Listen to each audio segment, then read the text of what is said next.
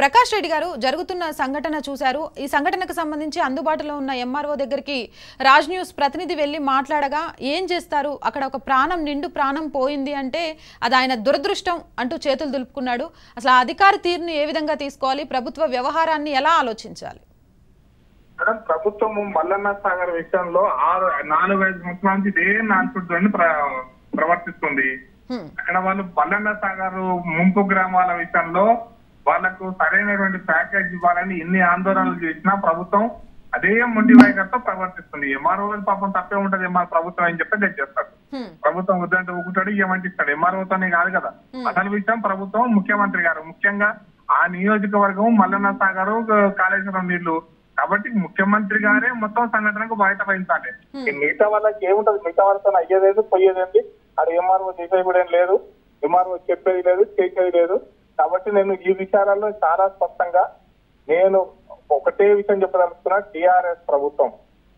మల్లాన సాగర్ విషయంలో గానీ ముంపు గ్రామాల విషయంలో గానీ భూసేకరణ విషయంలో గానీ. హ్మ్. ప్రభు చాలా తప్పుడు నిర్ణయాలను తీసుకుంటున్నారు.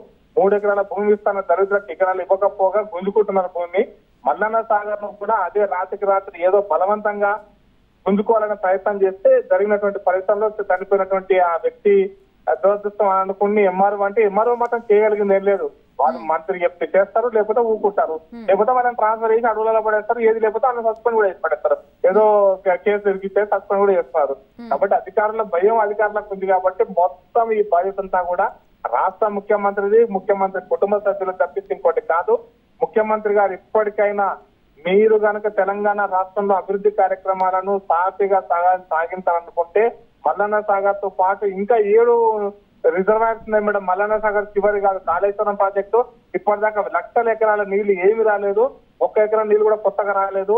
మల్లన్న మన నా కాళేశ్వరం ప్రాజెక్టు కింద కట్టాల్సినటువంటి ఇరవై రిజర్వాయర్స్లో ఇంకా ఏడు రిజర్వాయర్స్ మల్లన్న సాగరు. ఇంకా దాంతో పాటు ఇంకా ఏడు రిజర్వాయర్స్ కట్టాల్సి ఉంది. అన్నిట్లో కూడా ఈ సమస్య వస్తుంది. కాబట్టి మల్లన్న సాగర్ సమస్యను మీరు సానుకూలంగా ప్రజల యొక్క ఆకాంక్షల మేరకు పరిష్కరించండి.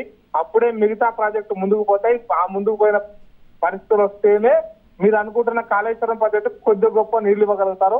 లేకపోతే కాళేశ్వరం నీళ్ళు గోదావరి నదిలో నదిలో పడేసినట్టు తప్ప ఇంకోదానికి ఉపయోగపడదు. ఇప్పటికైనా తెలంగాణ ప్రజల లక్షల కోట్ల రూపాయల నిధులు వినియోగం కావాలి కనీస వినియోగం కావాలన్నా కూడా మీరు ఇప్పుడు ఈ వల్లన్న సాగర్ లాంటి ప్రాజెక్టు కుండపోచమ్మ విషయంలో కూడా జరుగుతుంది అదే.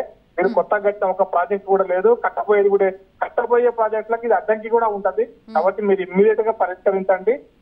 తర్వాత వచ్చేటువంటి అన్ని పరి పరిణామాలను పరిష్కరించడానికి మార్గం సుగమం అయితే తప్పిస్తే మీ మొండి వైఖరి కొనసాగితే తెలంగాణ ప్రజలకు మీరు రాబోయే ఇరవై మూడులో మీకు చిప్ప ఇచ్చి పంపిస్తారు తప్పిస్తే ఇంకోటి కాదు. తప్పకుండా మా బండి సంజయ్ గారు చెప్పారు. మాటి మాటి చెప్తున్నారు. జైలుకి ఎట్లా పోతారు అని. ఎట్లా పోతారో జైలుకి అర్థమైపోతారు అప్పుడు నేను చెప్పాను ప్రకాష్ రెడ్డి గారు వేరే నియోజకవర్గాలకు ఒక ముఖ్యమంత్రి హోదాలో వెళ్ళి అనేక పథకాలను ఆవిష్కరించే ఆయన సొంత నియోజకవర్గంలో జరిగిన ఇలాంటి సంఘటనల గురించి స్పందించకపోవడం అనే దాన్ని ఎలా తీసుకోవాలి? రెండు పదాలు రెండు ఉంటాయి మేడం దీంట్లో. ఒకటి ఏంటంటే ఆయనకు ఒక అహంకారం ఏంటంటే నేను చెప్తే వినరా? ఒకటి. రెండో విషయం ఏంటంటే నేను మల్లన్న సాగర్ లేదా కాళేశ్వరం నీళ్ళు పట్టుకొచ్చి లక్షల ఎకరాల నీళ్ళు నీ- నీళ్ళు ఇస్తున్నా అనేటువంటి భ్రమలలో ప్రజలను పెట్టి ఆ కార్యక్రమం నా ప్రాజెక్టు పూర్తి ఏదో రకంగా పూర్తి చేయాలనేటువంటి ప్రయత్నము.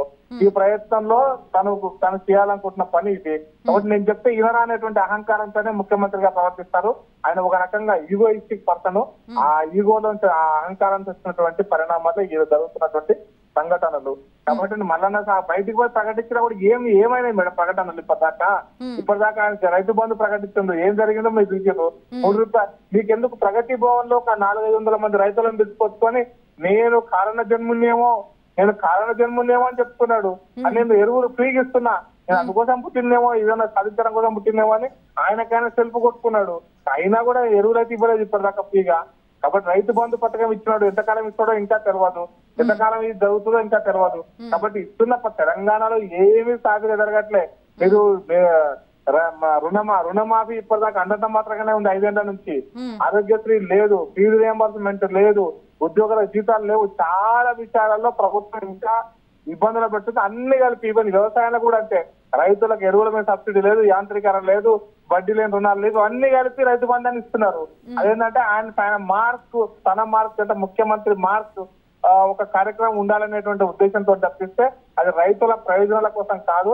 ఇది కూడా ఈవెన్ రైతు దళిత బంధు ప్రోగ్రాం కూడా దళితుల ప్రయోజనాలను నిజంగా కాపాడుతుంటే ఇస్తాం ఆటో కొనుక్కున్న కారు కొనుక్కున్న రైతు ఆ కారు కొనుక్కున్న ఒక దళితుడు రియంబర్స్మెంట్ చేయలేక సబ్సిడీ కట్టలేక సబ్సిడీ రాక ఇంత ఈఎంఐలు కట్టలేక కార్లు గుంజుకపోతుంటే అప్పులు చేసి ఆ ఇంత కట్టింటే అది ఏడ్చుకుంటా కూర్చుంటున్నటువంటి పరిస్థితి నాలుగు వందల యాభై ఐదు కోట్లు ఇస్తే ఒక వెయ్యి ఒక నాలుగైదు వేల మంది ఈ రోజున ఉద్యోగ భృతి వస్తుంది.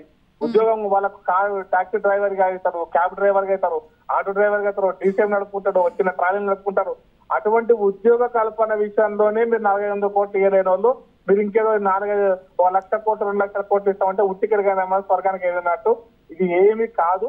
ఈ భ్రమలలో ప్రజల నుంచి ఓట్లు దండుకోవడం కోసం చేస్తున్న ప్రయత్నం తప్ప ఇది వాస్తవంగా ప్రజలకు ఏమాత్రం ఉపయోగపడటం లేదు. ఒకసారి రెండు సార్లు ఒకసారి ప్రజలు మోసం చేస్తారు రెండు సార్లు మోసం చేస్తారు. కానీ అందరినీ అన్ని వేళలా మోసం చేయలేరు అనేటువంటి విషయం రాబోయే రోజుల్లో బయటకు వస్తుంది. వచ్చినప్పుడు కేసీఆర్ సంగతి అందరు చెప్తారు. Right thank you Prakash Reddy garu.